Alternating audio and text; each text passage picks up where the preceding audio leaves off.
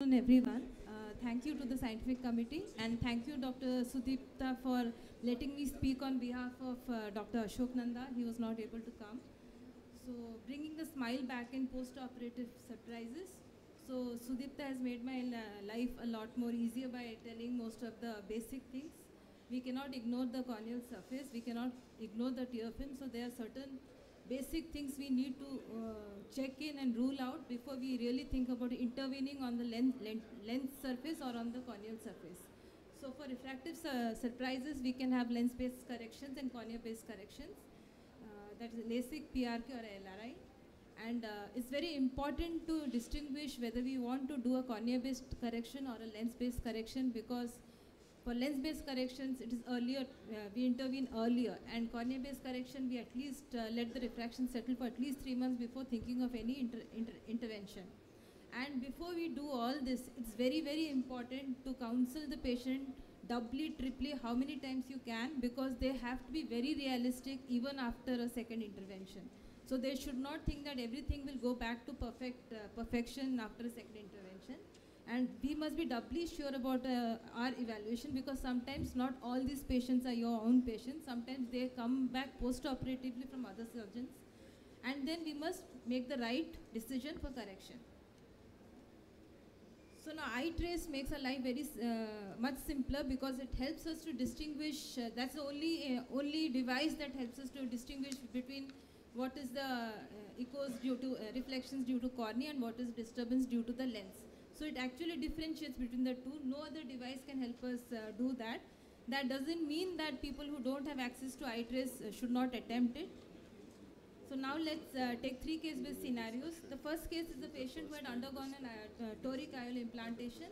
Now we see that uh, the patient is left with a residual of a 1.8 diopter sphere and a minus 1.12 diopter cylinder at uh, 88 degrees. So what do we do? Like is this a wrong choice of IOL or is this an IOL rotation or what is it? So do we go for a lens based correction or a cornea based correction? Now we see that this patient has some amount of lower order aberrations and a higher order aberrations and then doing a toric alignment shows that when we have a 60 uh, when we do a 60 when we if we subjected the uh, IOL to a 65 degree rotation he would have a lot of reduction in the cylinder, but still he would be left with a 1.33 diopter sphere and a 0.05 uh, diopter cylinder, which wouldn't help much. So in this case, instead of rotating the IOL, we have to go for a cornea-based procedure and we have to go for a wavefront guided LASIK or a PRK as the case may be. Now coming to the second case scenario. Here a patient with a mature cataract underwent a cataract surgery with a multifocal IOL, implantation which I would never do. Uh, I would uh, of course do it if the patient is willing to take equal risk. Now we see that the patient is left with a uh, refraction of a plus 3.5 and a minus 1 diopter cylinder. Now in this case you see the patient has uh, quite a high amount of astigmatism. The coma and the trefoil is quite high.